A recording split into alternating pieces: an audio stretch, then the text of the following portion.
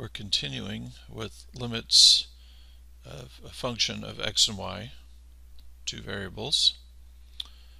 And as a reminder, um, the concept of limit is quite a bit more complicated by just adding even one more variable to the mix than a single variable limit was from the first year of calculus. And we're going to be studying um, two types of problems. So the first type of problem that we've already looked at is a particular limit where I'm going to tell you in advance that it doesn't exist and we're going to do a verification. We're going to demonstrate that it does not exist. D and E does not exist. And there were two ways of doing that. Your options were could you find two paths to the limit value with different different uh, solutions. So you know limit as the x and y coordinates approach some point of a function. If you approach this point from two different directions, can you show that there are two different values? Or if you're lucky, could you find one path where that same limit is undefined? So we've done that already. Um, and the method of attacking that was laid out fairly clearly, but uh, it does warrant you practicing on additional problems.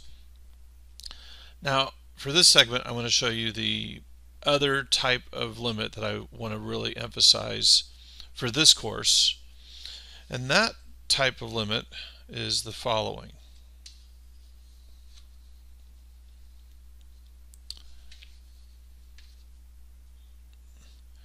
Could we convert to some other type of coordinate system to make this simpler? I'm not suggesting that was an idea that would have popped into your head naturally but maybe after I show you how this works it will not seem overly strange. So I, I am going to demonstrate this with a problem um, but as a reminder with polar coordinates anything with x and y gets converted to r values and theta values and the primary conversion formulas that we would use um, or that we could use, um, x is equal to r multiplied by the cosine of the angle theta, y is r times sine of theta, and x squared plus y squared is r squared, based on a graph that might look something like this. So this has x and y coordinates. You know, so this would be y, and this would be x, and this here would be r and then there would be your angle theta from the positive x-axis. We have recently done a little review with uh, polar coordinates to help with cylindrical coordinates in the course. So this video is not to retrain you on polar coordinates. Um, but it turns out you don't need much more than this and one clever little trick to progress. So let me take you to an example of a limit of a function with two variables where polar could be used. Here we go.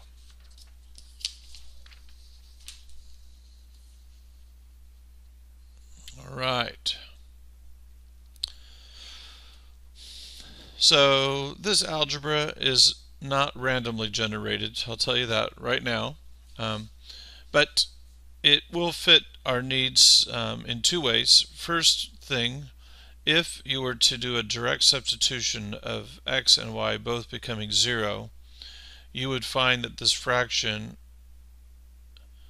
will be 0 over 0, which in calculus terms we would call indeterminate, which means we don't know.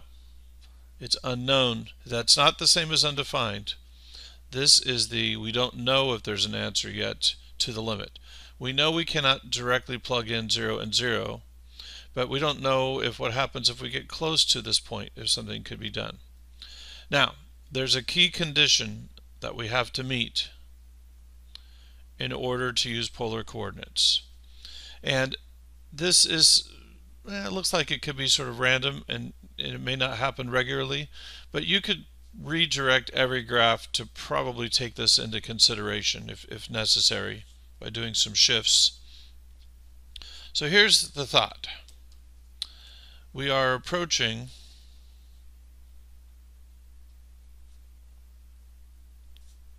the origin, 0, 0. Okay?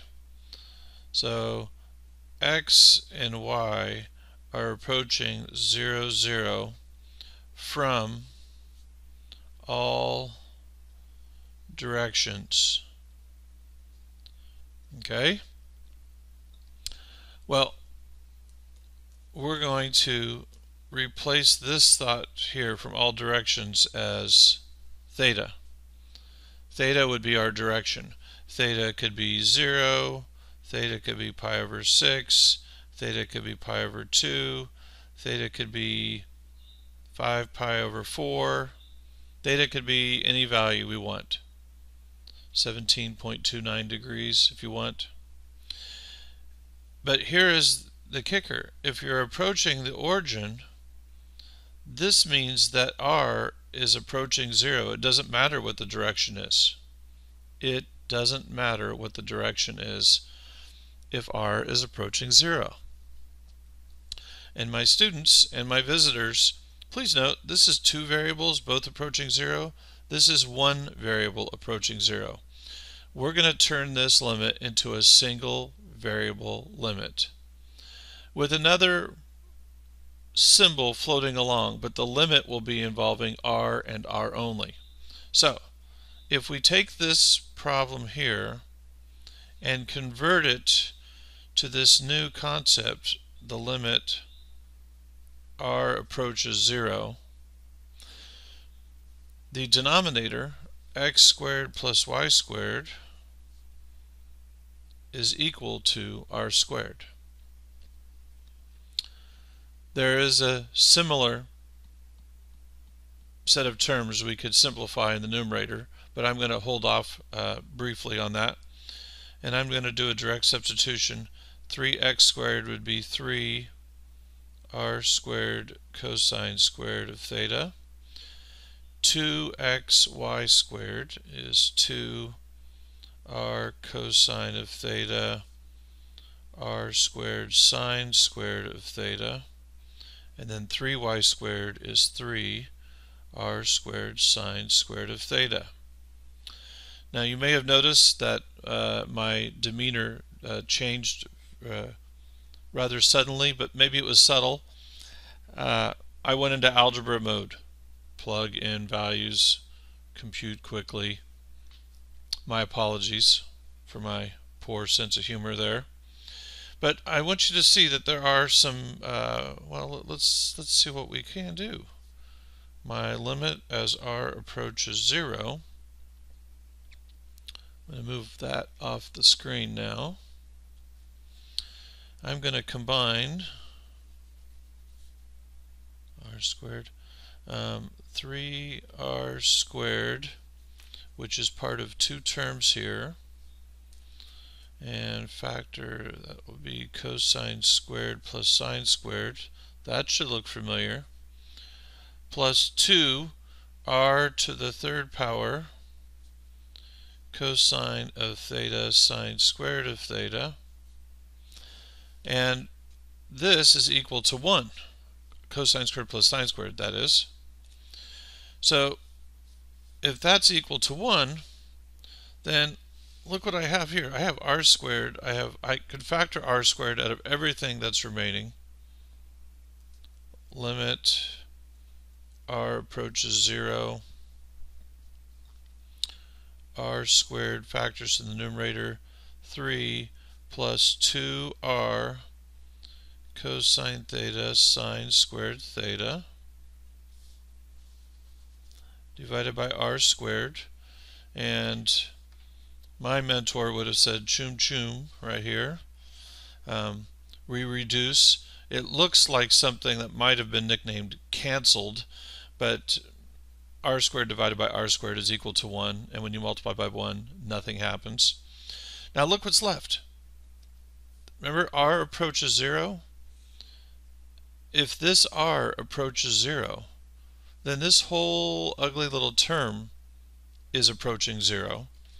And that means I have 3 plus 0, or 3, as a result.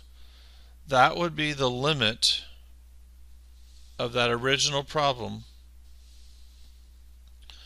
by converting to polar.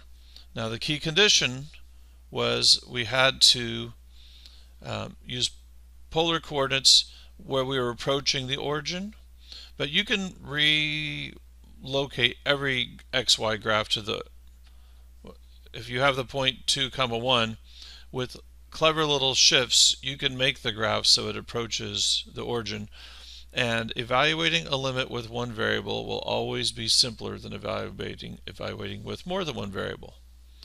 Now come back for the next segment and I'll show you a case where polar can be used to verify that a limit doesn't exist.